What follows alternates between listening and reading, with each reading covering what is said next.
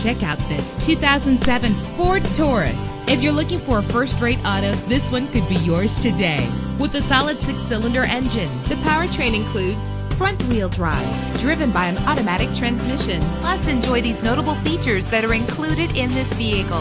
Power door locks, power windows, cruise control, an AM-FM stereo, power mirrors, power steering, an adjustable tilt steering wheel. And for your peace of mind, the following safety equipment is included front ventilated disc brakes, passenger airbag, independent suspension. Let us put you in the driver's seat today. Call or click to contact us.